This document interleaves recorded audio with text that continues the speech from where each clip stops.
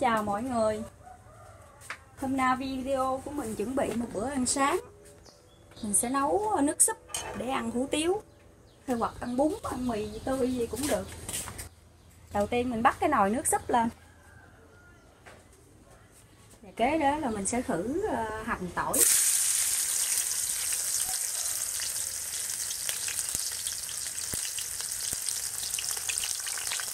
Hành với tỏi mình thử cái vàng mình lấy ra mình để vào chén.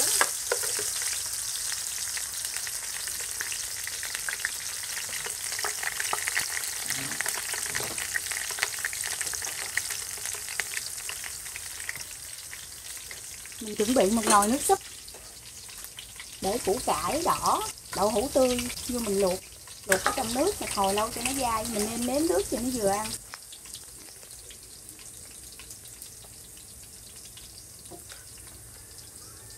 Khi mình nêm nếm nước vừa ăn mình luộc đậu hũ, miếng đậu hũ nó sẽ ngấm vào, nó rất là ngon, nó vừa ăn lắm. Nó làm cho miếng đậu hũ của mình nó không có bị ngán.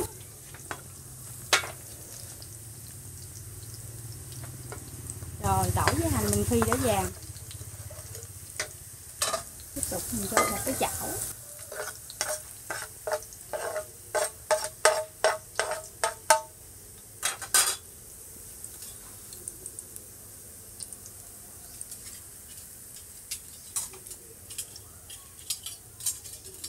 Mình chuẩn bị cái chảo này để mình ờ, thử nấm rơm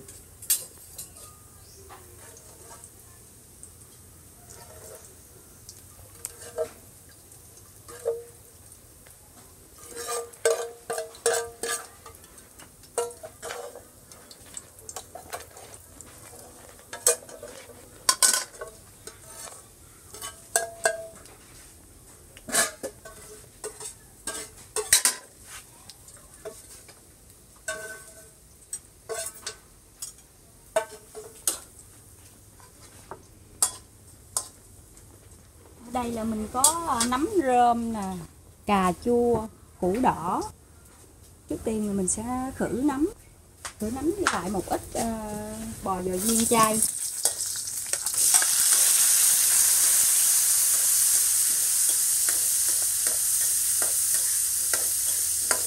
Mình xào sơ như mình sơ chế vậy đó.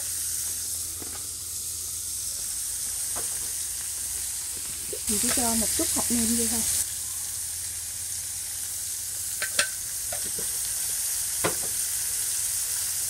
Xào nấm và bò viên. Nó đều bởi vì khi mình đã nấu, mình còn nấu nó lại nữa, cho nên mình không cần thiết phải cho nó quá chín. Mình chỉ xào cho nó thơm thôi. Rồi xong, mình cứ cho nó qua nồi súp.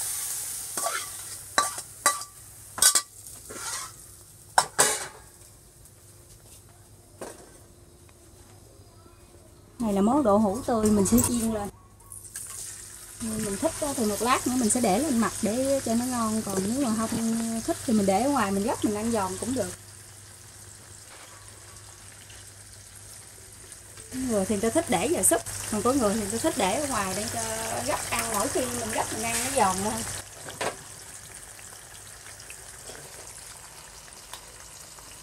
rồi nước súp của mình cứ đợi cho nó sôi lên nữa là được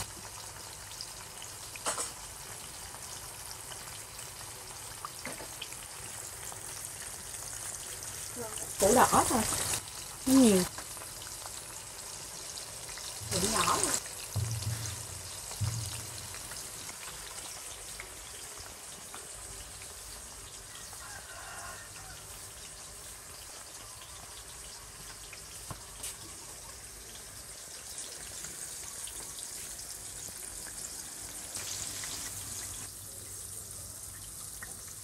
này là hủ tiếu tươi nha các bạn.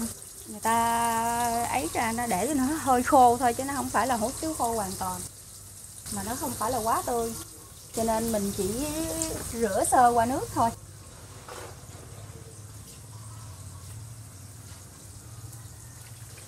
Mình rửa sơ qua nước lạnh. Cho cộng hủ tiếu nó vừa nở ra. Một chút mình chắc nước ra, mình trụng nước cho súp vô à, ở đây là cái khâu ờ, gia vị ờ, thêm vào là mình có một ít bông bí à, ngò rí ngò gai lá quế và giá. Đây là những thứ ăn kèm của hủ tiếu.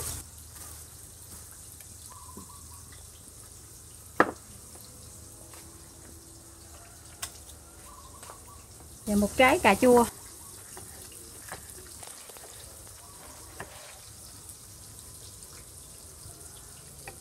là, là những thứ mình chuẩn bị để mà mình à, trụng hủ tiếu xong rồi mình để lên trên mặt. Ăn nó vừa là bổ dưỡng vừa là trang trí. Là đẹp.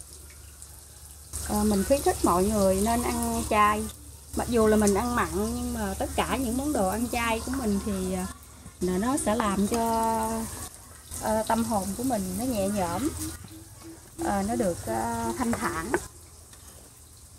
Chúc mọi người à, một bữa ăn chay an lạc hạnh phúc nên ăn chay ăn chay vì sức khỏe.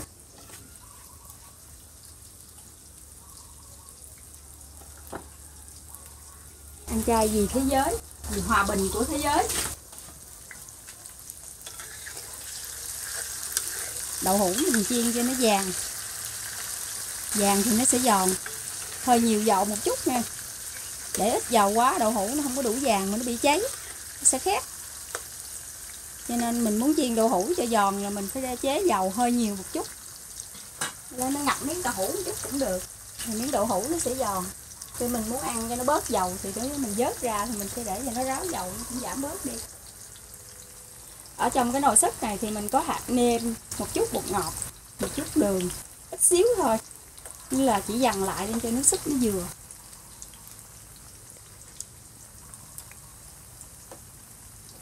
Thì kèm theo đó là nấm rơm củ quả và đậu hũ nó sẽ làm cho nước súp của mình rất là ngọt. Nó vừa ngọt mà nó vừa ngon nữa. Quý vị. Nên trộn ra cái tô nước súp của mình hút nước hơn rất là ngon hơn. Như vậy là đậu hũ chiên mình đã, đã vàng tới tắt bếp. Và nồi nước súp của mình cũng đã sôi lên. Mình chuẩn bị trụng hủ tiếu.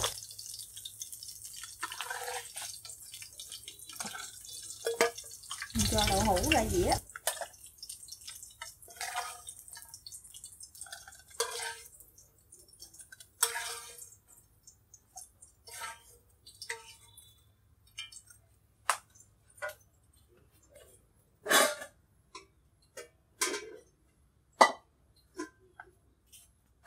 Mặc dầu là hủ tiếu tươi, nhưng mà mình phải à, mình vẫn trộn qua nước súp một nước, để cho cọng hủ tiếu nó chín đều được. Để nó dai hơn. Thì mình sợ à, mình đổ nước vô trực tiếp thì nó không kịp chín thì nó sẽ bị cứng. Cho nên mình trộn xương thôi, không cần trộn nhiều.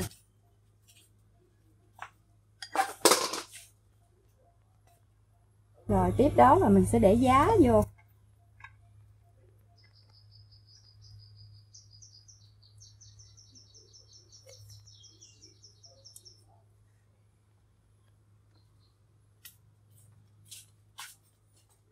Về bông bí. Bông bí mình sẽ để vào nồi súp đang sôi. Cho bông bí nó chín. Vì bông bí à, vừa trang trí đẹp mà nó vừa ngon nữa, làm cho ngọt nước thêm. Cho nên nước súp của mình nó có bông bí nữa nha các bạn.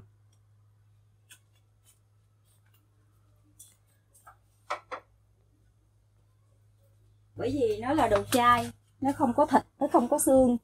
Nên mình tận dụng rau củ quả là để mình làm chất ngọt cho nó.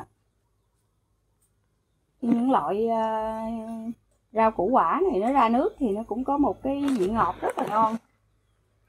Mà bổ dưỡng nữa. Rồi xong như vậy thì mình sẽ cho nước súp ra tô củ tiếu của mình. Ở trong đây có bông bí củ đỏ củ trắng, đậu hũ tươi, nấm rơm.